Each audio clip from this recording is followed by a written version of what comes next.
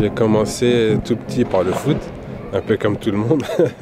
Donc euh, le foot, après j'ai fait du taekwondo, que j'ai beaucoup aimé taekwondo. J'ai fait aussi un peu de boxe, boxe française. Et, puis ensuite, c'est là où je suis arrivé à, l'athlétisme par mon grand frère qui en faisait déjà.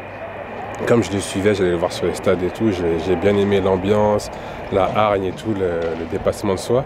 Bah, j'ai essayé et ça a vite été euh, positif pour moi.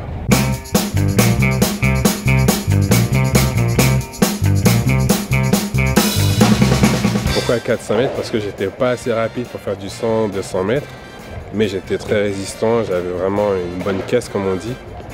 Donc ça a vite, euh, ça a vite collé entre 400 mètres et moi.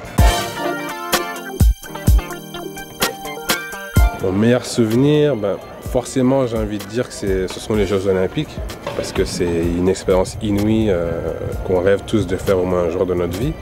Mais il n'y a pas que ça, il y a aussi euh, des, championnats sur lesquels, par exemple, j'étais un remplaçant et j'étais pas sûr de courir, ou à la dernière minute, on me dit vas-y, t'es dit, tu rentres.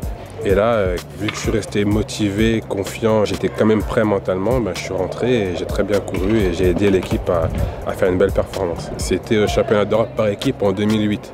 D'ailleurs, ça nous, ça nous permet de nous qualifier pour les Jeux Olympiques de Pékin.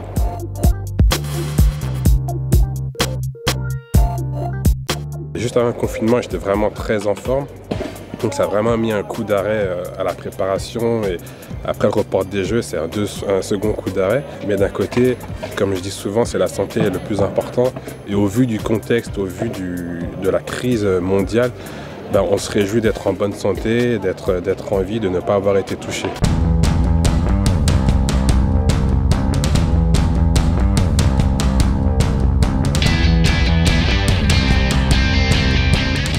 J'espère, je croise les doigts pour réussir à trouver un moyen de, m'entraîner sereinement pour me qualifier pour les Jeux Olympiques parce que j'y crois.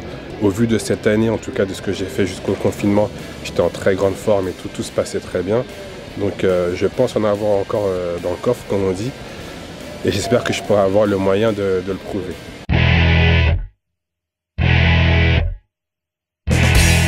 Si tu étais un animal Un dragon, même si c'est pas vraiment un animal. si tu étais un plat euh, L'orange chicken. Si tu étais une couleur. Le rouge. Si tu étais un élément. Perturbateur. non, je rigole. Non, je dirais un élément. Euh, je dis bah, le feu, logiquement. Si tu étais un film. Euh, Man on Fire, encore le feu. si tu étais un style musical. Euh, je suis mélangé entre RB et le pop rock. Euh, ton sportif ou ta sportive préférée LeBron James. Ton héros préféré Mon héros préféré, Batman. Et pour finir, quelle est ta devise euh, J'en ai plusieurs, mais je dirais que l'ultime, c'est il n'y a pas de limite. Comme, euh, comme je l'ai tatoué sur mon bras, nos limites.